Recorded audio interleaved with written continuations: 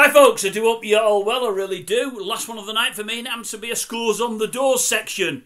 Um, not been a lot to report on today. It's been a very quiet day. I've been mad busy. I've looked and looked and looked for stuff. Only got about four messages out. This is the fifth and last. We'll quickly go through a scores on the doors. Uh, what did the Watchman do? The Watchman give you an each way free bet, an each way shot at 11 to 2. His last one was 11th to 13. This was 8th to 13, so they're coming up the field slowly but surely. 8th to 13, so not so well. Uh, he did give a win at 8 to 13, but anybody could have done that. Um, Andy, Andy gave three out, 1 1 at 3 to 1 on SP. May have been bigger when he gave it out, I don't know. So all you've done is levels your devils. Uh, what else have we got?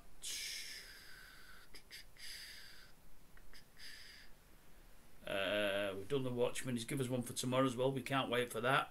Peter gave one out No Joy. Uh, and I think that was it. I think most everybody else have abstained. Connor's not done anything today, I don't think. The Veiled has done nothing, I don't think. Uh, Dave the Suits hasn't bothered, from what I can see.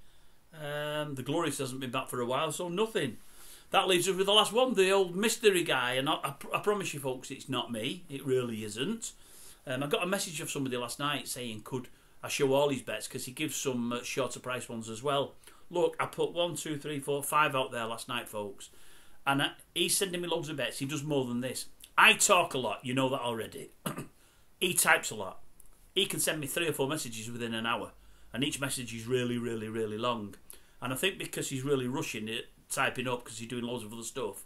A lot of the pronunciation and spelling's wrong. I'm not knocking you, sir. I'm not knocking you one iota. But some of them are hard for me to follow, and there's thread after thread after thread. He sent me some for tomorrow. I'm only going to give you a couple. Reason being is a lot of shorter priced. More about that in a moment.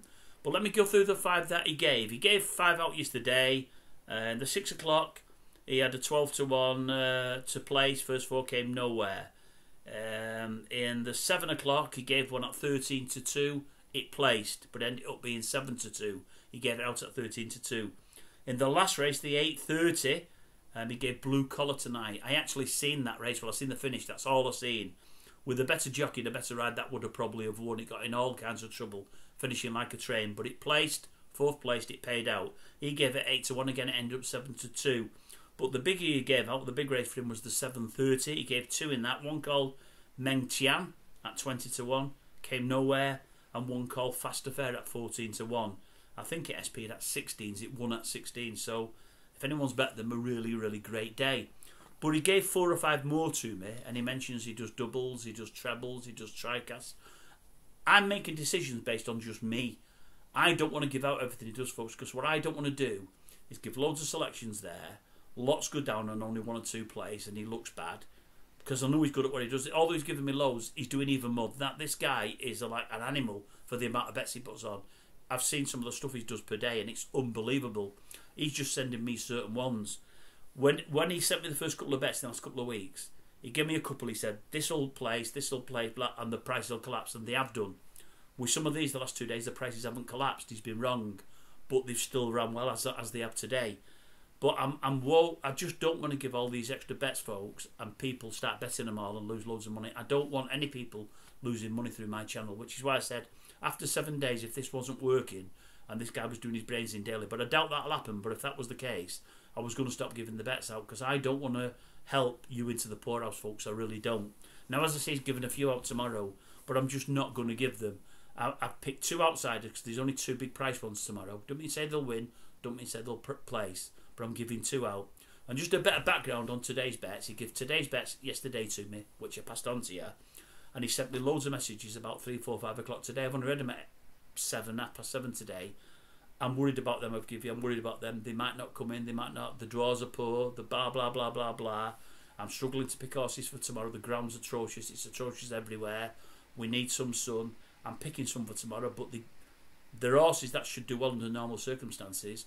But the rain and the forecasts are really throwing me. He said they'll be throwing all tipsters, which is why so many tipsters are abstaining today. They've not bothered. He said it's really difficult because the ground's so up and down. You need some consistent good to firm ground. He said, and we're nowhere near it at the moment. He said, and it's a real worry.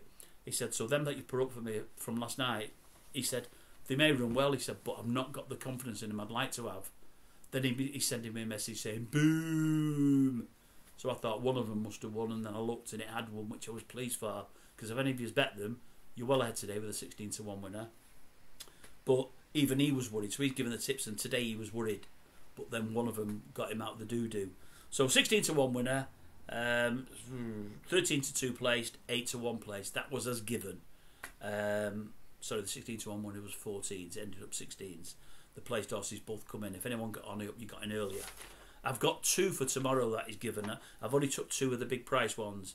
In the 5 o'clock at Kempton, Artisan, he's got it as 11 to 1, four places, go each way. 11 to 1, 505 at Kempton, four places. And in the 457 at Nottingham, that's the 457 Nottingham, Pledge Giovanna. Uh, that's 20 to 1. I don't know if that's three or four places. If you can get four places and worse odds, I would go that way rather than three places. But they're the only two I'm going to give you that is given me today. He's given me about five more.